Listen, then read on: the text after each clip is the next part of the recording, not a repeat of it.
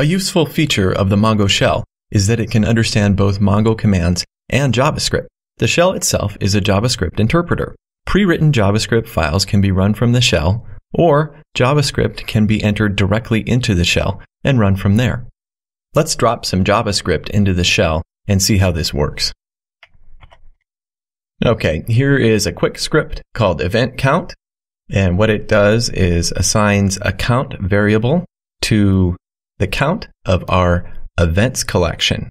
It then assigns another variable called count record to a new JSON entity with an ID of date, current date, and an event count, which is assigned the value count, which is our variable from here. Then it saves our count record to a new collection called event count and prints out the value of that record. So let's see what happens when we run this function.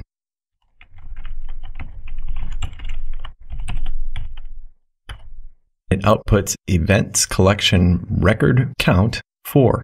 And we know from our previous module when we did the import into our events collection, we put four entities into that collection. So our JavaScript works. This capability can make life really simple if you're a JavaScript guru and you have a lot of different activities that you simply want to script and then run here in the shell. If you have scripts saved to JavaScript files, you can simply run the name of the file that contains a JavaScript function and the function will run. Things like administrative tasks and data verification can be done simply through JavaScript, a convenience to keep in mind.